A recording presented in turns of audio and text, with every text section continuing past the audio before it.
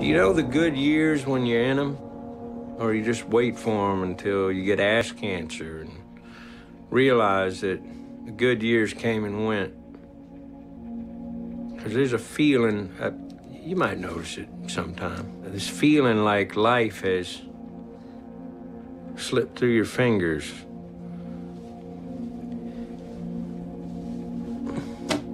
Like the future's behind you, like like it's always been behind you. You know, I cleaned up, but maybe I didn't change. Not the way I needed to. Give it back. Give it back. Remember what I said about the detective's curse? The solution to my whole life was right under my nose.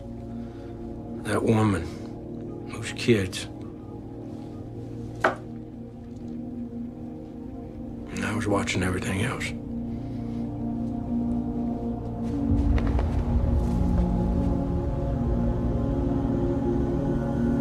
See, infidelity is one kind of sin, but my true failure was inattention. I understand that now.